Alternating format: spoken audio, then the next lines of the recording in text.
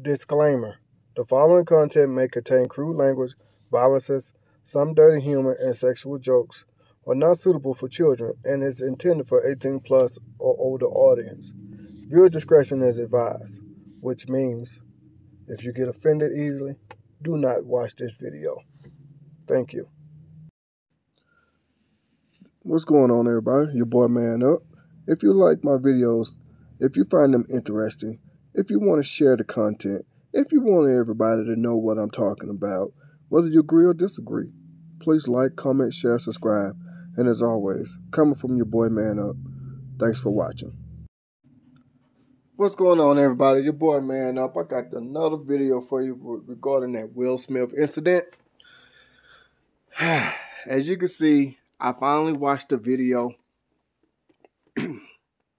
and. Will, I have to tell you this, man. I think you you was weak in that moment. I still say Chris Rock was wrong. I did not know Jada Pinkett suffered from alopecia, which causes her to lose her hair. Uh, and I still say Will and Chris Rock, both of them were wrong. I say both of them was wrong. I don't know if Chris Rock knew that Jada suffered from alopecia.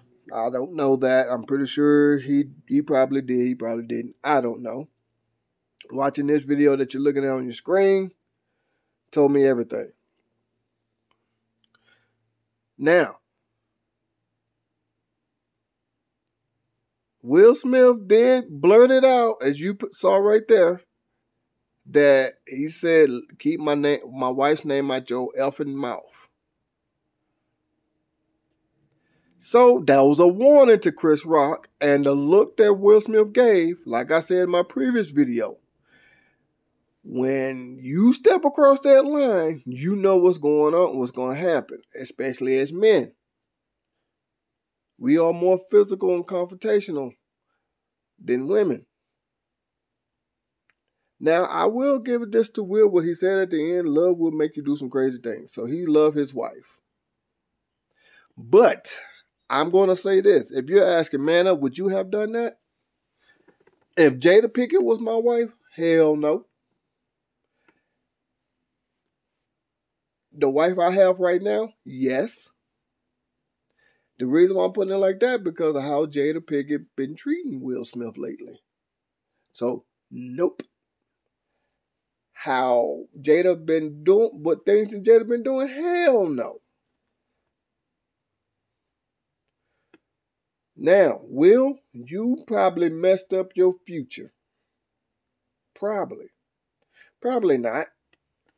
I know he probably, I think he got another movie coming out next year or something like that, but, or two years from now. But after that, I think he probably messed up his his future in acting. Yeah, you might be saying, man, up he's already set for life or blah blah blah. Hey, I don't know their financial situation, so I can't speak on that. All I'm saying is, we all know when you get on that grand stage like the Oscars, yeah. And going by what by uh it said that Tyler Perry and Denzel Washington tried to calm Will Smith down. I don't think this was staged. I think this was a real thing. So, with that being said, I gotta say both of these guys were wrong. Chris Rock, you had got that warning to stop. You didn't. And yeah, any man gonna defend his wife.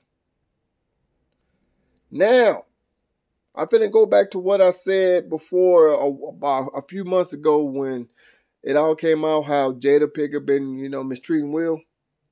Ladies,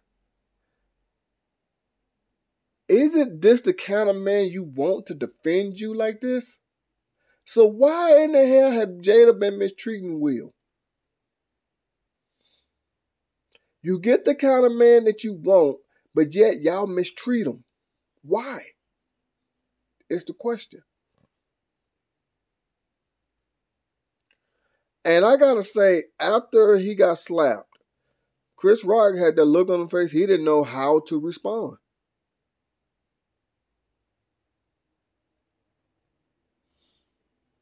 If you look at it right here, after he gets slapped,